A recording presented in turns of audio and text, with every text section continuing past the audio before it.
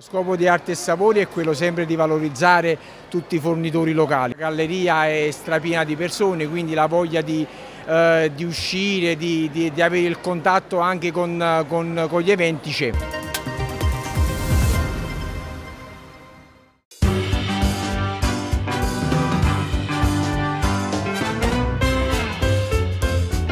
Enogastronomia e non solo di scena al parco commerciale Grande Sud di Giuliano, grazie all'iniziativa Arte e Sapori, ieri nuova tappa della Kermesse che valorizza i prodotti e le aziende del territorio. Nella piazzetta dedicata a Basile, grande successo per lo show cooking della chef Cinzia Fumagalli, protagonista la pasta di pastai cacciapoti, tra le eccellenze del territorio giulianese. Io sto benissimo qua, diciamo che sono una una finta lombarda perché è più tempo che passo in campagna e a Napoli che neanche a casa mia. Cioè è una terra che mi accoglie sempre eh, con allegria e con piacere come io, io, io vengo e io vengo con piacere. Cosa prepariamo oggi e soprattutto un'importante collaborazione con Pastai Cacciapodi che è un'azienda del nostro territorio? È, una, è un'azienda di Giuliano. Utilizzo oggi le chicche e faccio una pasta, come sempre stravagante perché io notoriamente lo sono, e faccio una crema di eh, fichi d'India, però ho utilizzato solo quelli arancioni,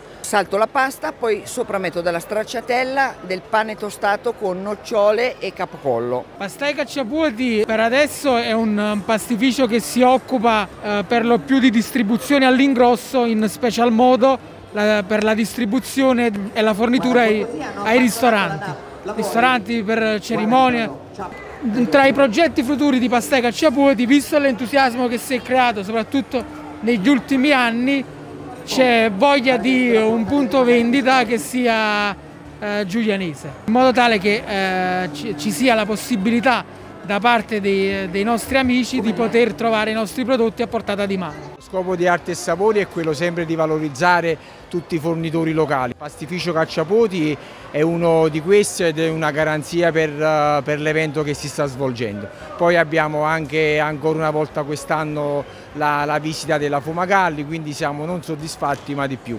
Un centro commerciale Grande Sud che oggi più che mai è in grandissimo rilancio dopo la pandemia. La galleria è strapiena di persone, quindi la voglia di, eh, di uscire, di, di, di, avere il contatto anche con, con, con gli eventi c'è. Il prossimo fine settimana sarà dedicato al vino novello, ci saranno le, le, cantine cecere, domenica abbiamo come chef Francesco Pedito, finalista di Cannavacciuolo, il weekend del 13 e 14 abbiamo la festa del torrone e chiudiamo con il grande Andrea Mainardi.